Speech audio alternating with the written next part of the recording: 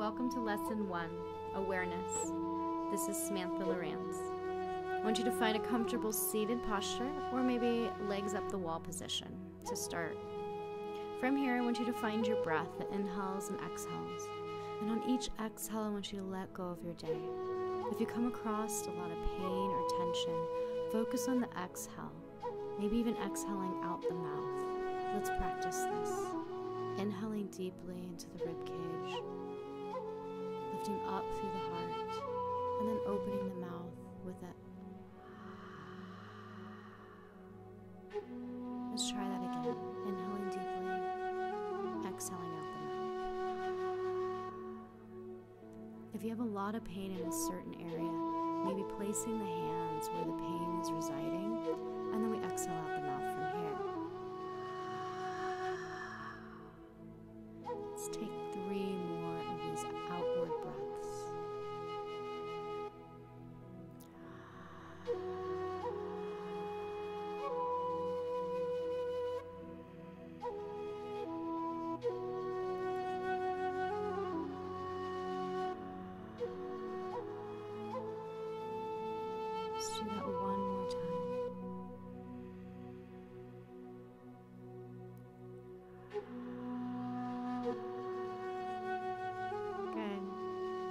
start to deepen the breath now a little bit more with the yogic breathing.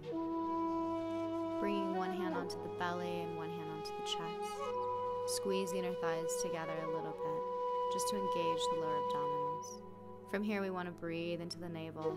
Imagining we have a balloon inside the belly, and we're going to inhale into the belly button and then exhale out the belly button, deflating the balloon. Let's go a little bit deeper this time. Inhale into the navel, the ribs, and the chest. Exhale from the belly, the ribs, and the chest. Continue this yogic breath.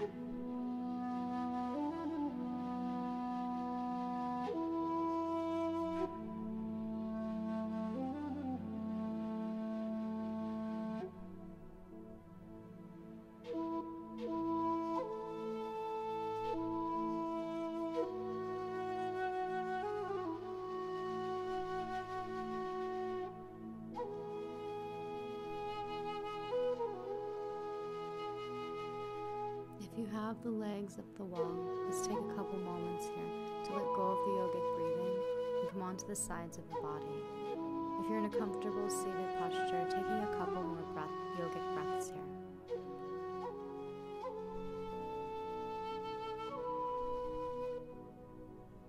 Very slowly, let's all come up to standing on our mat. Please take your time with the feet mat width apart, and if you don't have a mat, maybe two or three feet apart. Having the toes pointing forward, just swaying from side to side, shifting the weight from the left to the right, noticing where the body weight is. You can start to move the arms as little or as much as you'd like to, rolling the shoulders or keeping the shoulders very still.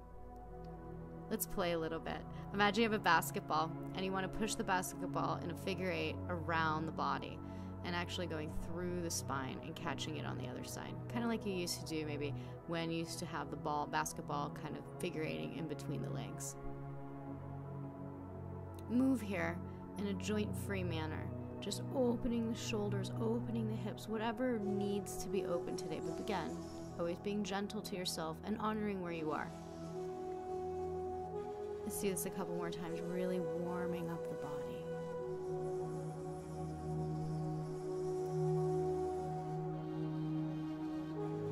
to slow down, making smaller movements and shaking that last bit of tension out of the body. So from here, you can utilize a block, a book, a couple books, or maybe a stair. If you're doing it on a staircase, please make sure you're on a bottom stair and there's no other stairs beneath you. Squeezing our thighs together, find your balance on that right leg. Start to swing the left leg. When you swing the left leg forward, you want the right arm coming forward. Now be careful. If we start to cross the arm and leg across the body, we lose balance and fall off of the block. So, really focusing on getting the hands moving straight forward and the legs. hips a little bit, bring the heel off the ground, noticing if we have a nice soft bend in that right leg. Let's go to the other side. So, standing up on the block with the left foot, finding your balance, maybe having your eye gaze at one unmoving point in front of you. Drop the shoulders away from the air, squeeze inner thighs. Inhale, the left arm comes forward as the right leg moves forward, and then exhale, we start to swing. Now you can tell in this, I start to cross everything over the body, the leg and the arms. I start to lose balance. So here I bend the elbows and I start to really pull that right knee up towards my chest. So that way I don't start to lose balance. If you do lose balance like I just did, you just drop the foot to the ground and start over. Again, every day this may feel different, and so just be nice to yourself. Ooh, let's play this other one. So we're going to rotate our hips in a circle. And we're trying not to move the shoulders. This way we can move and kind of open up any tension that we may have in the hips. Maybe we have a little tension in the back or the obliques in the pelvic area.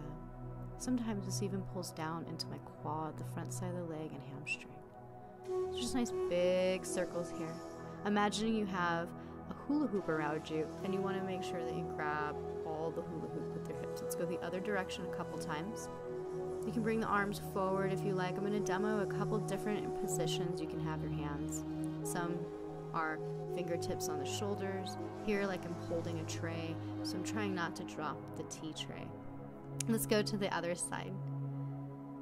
Bringing the left foot up onto the block, squeezing the inner thighs, tucking the shoulders. This time to have my arms out straight and see how this feels. This is kind of a nice way to start to strengthen the arms if you don't have any tension on the shoulders or tension in the upper spine. Breathe. Keep rotating the circles. Let's go the other direction here with the hips really making big circles to open up and move into anything that doesn't feel right today. You can shift the weight all the way around the foot that's on the block. Notice my toes are lifting. I'm really pushing down on that foot that is attached to the block. Let's do that one more time around. Dropping the shoulders, finding Tadasana, engaging fingertips. Let's grab a hold of the block now and place it in between the inner thighs. Now, if you don't have a block at home, you can always use a water bottle, you can use um, a plastic cup, just something to remind yourself, or even a cushion.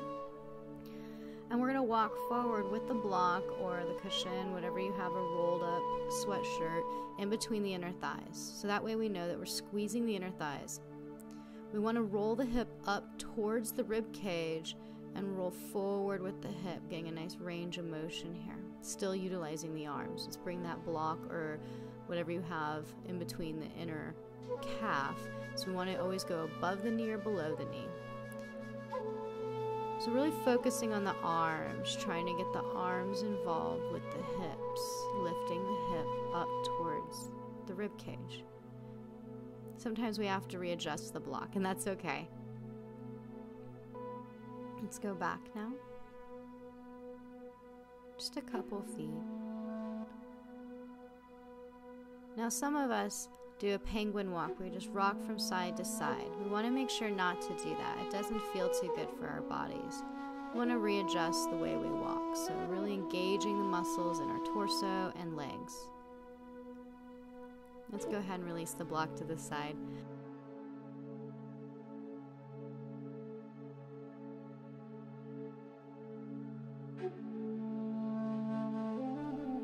Eye gazes forward, standing tall in Tadasana, pulling that right knee up and towards the chest, squeezing the inner thighs together.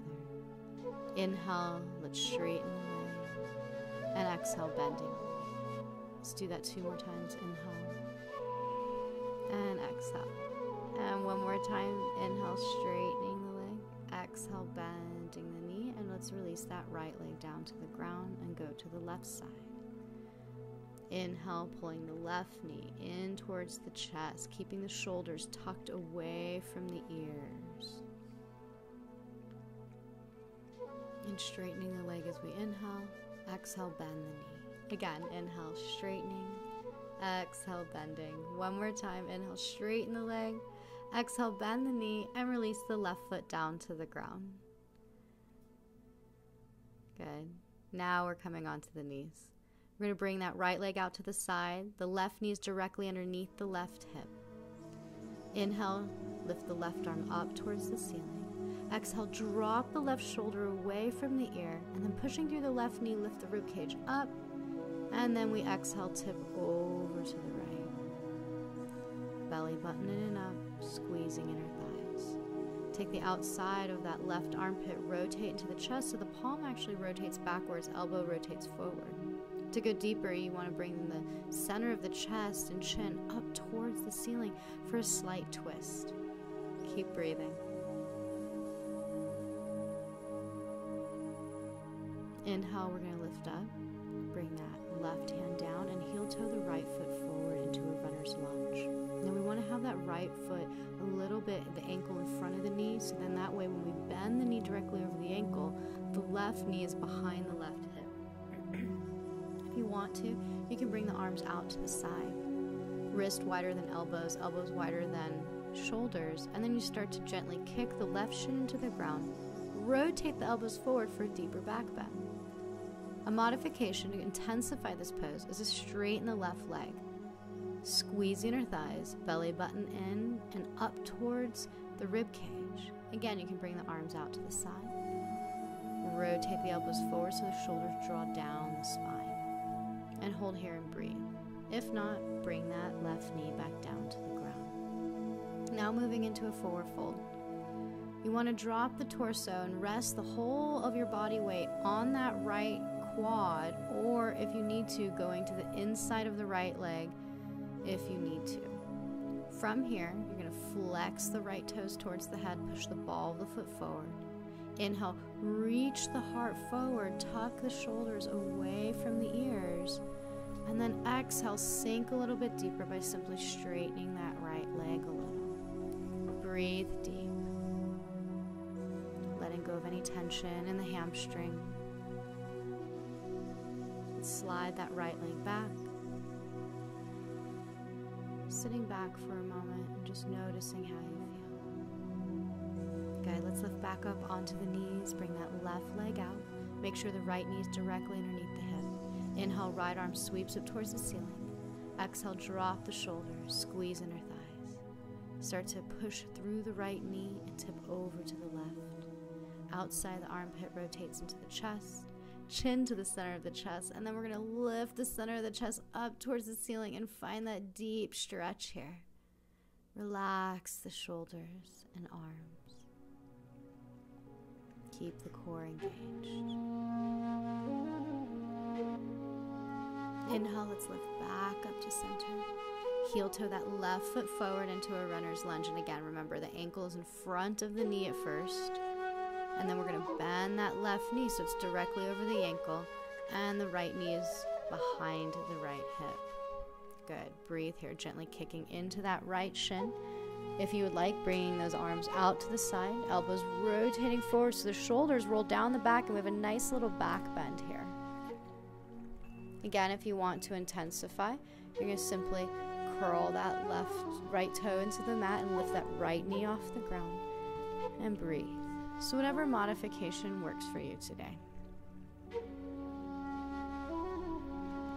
Let's take a couple more breaths here. And then slowly releasing that right knee back down.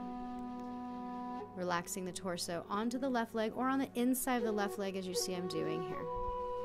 Another option is to have a block or a stool or just something you need to have the hands on. So this way we can tuck the shoulders away from the ears Keep the core engaged, squeezing inner thighs.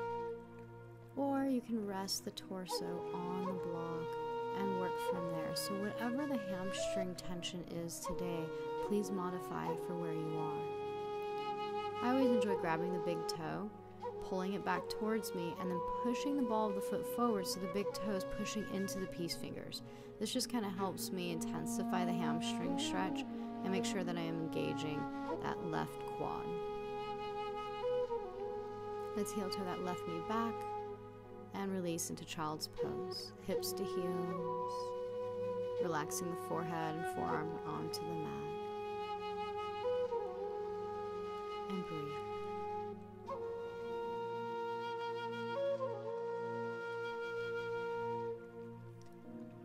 From child's pose, let's come all the way up into a seated posture.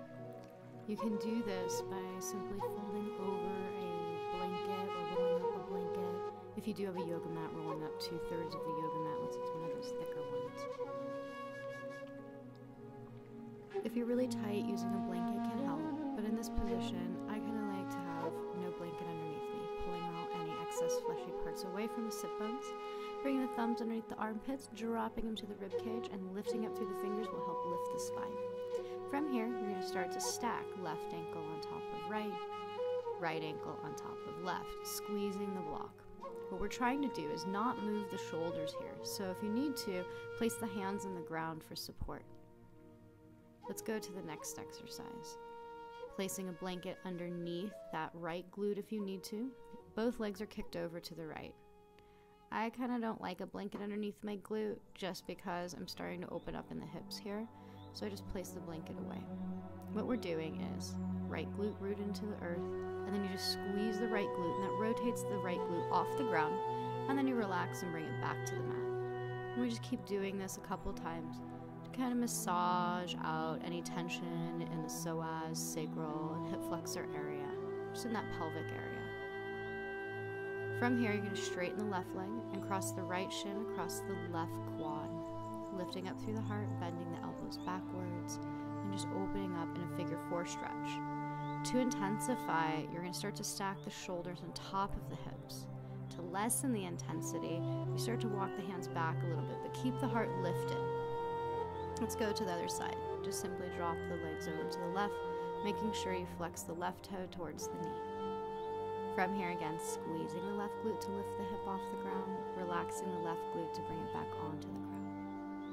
And the torso naturally twist here, squeezing and relaxing, opening up any tension in the glutes.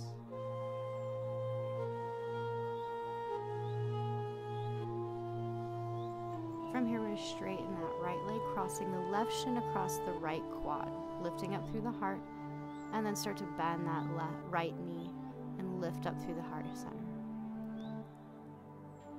Flex the toes towards the knees and just exhale out any tension in that easy.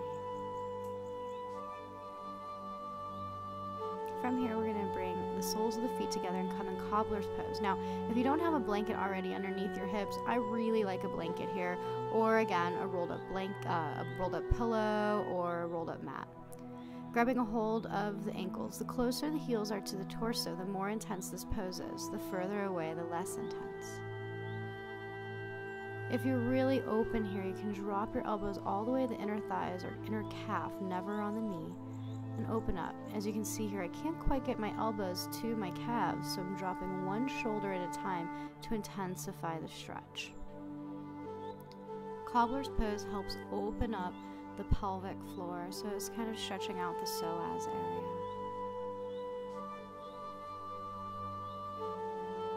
So from here, we're going to go into a lotus stretch.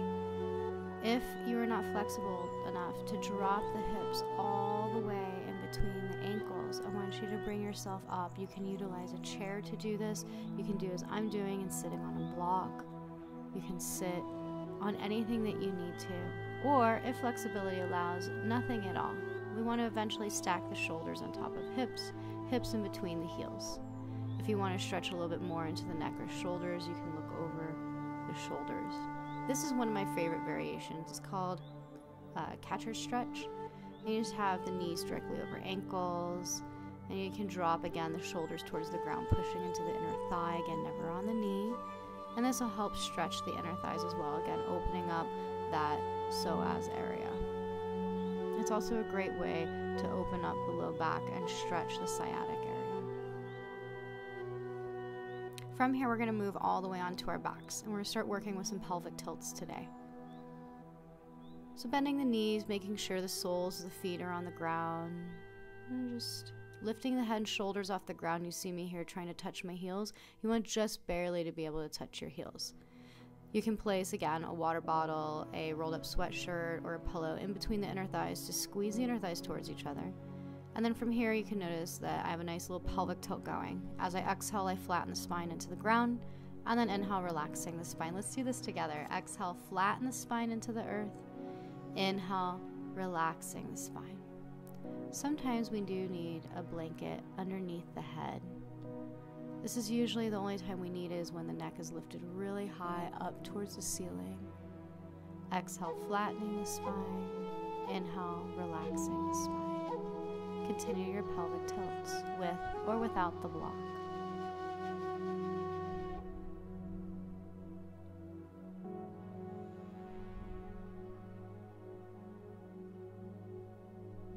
Now release the blanket away from the head.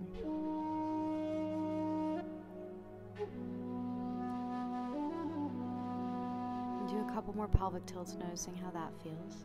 And if you need to, bring a block back in between the inner thighs. From here, you're going to flatten the spine into the ground, squeeze the inner thighs towards each other, and then stack the knees directly on top of the hips. On your inhale, you're going to lift that left leg up. Exhale, bend the knee. Inhale, lift the right leg straight up towards the ceiling. Exhale, bend the knee. Make sure we keep the spine flat into the ground. Inhale, straightening the left leg. Exhale, bending the knee. Inhale, straightening the right leg. And exhale, bending the knees. What we're doing here is we're really engaging the core. The big key here is to keep the spine flat into the ground and squeezing of the inner thighs. We'll really focus on getting that pelvic floor engaged so that way we can start doing our Mula Bandha and that way we can start walking around with maybe um, a little less pain or just a little bit more stability in our lower torso area. Let's inhale, take a full body stretch, reach the toes forward, fingertips to the back of the room, stretch it out, and then exhale, doing any other movements the body may need at this time. So we're gonna finish off class with legs up the wall. So please find a wall or a couch is always nice, something that you can put the legs up on. One of my other favorites is in bed. just get up on bed, put my legs up against the headboard, and we're gonna go into supine cobblers here just to open those inner thighs a little bit more. So soles of the feet together, knees apart.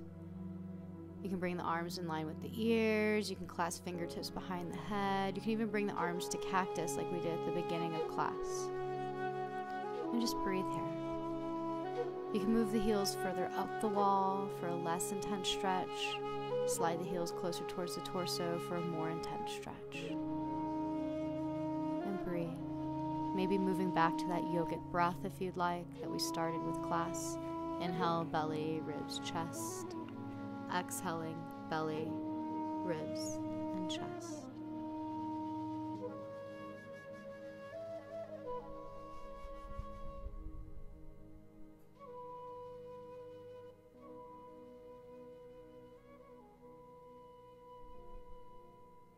You start to open in the body here, you can slide the heels a little bit closer to you. If not, just keep the legs where they are. Keep breathing.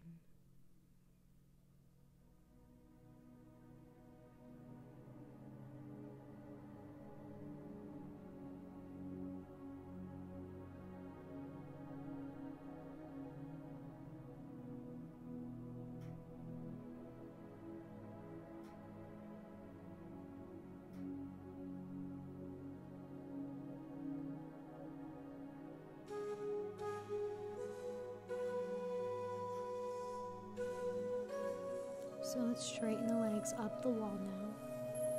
Shake the legs out, do anything you need to make the body feel better. If you want to stay here for Shavasana, maybe getting a little closer to the wall if you need to. Or if you want to take Shavasana away from the wall, you can scoot away from the wall and come onto the right or left side of the body for a couple breaths.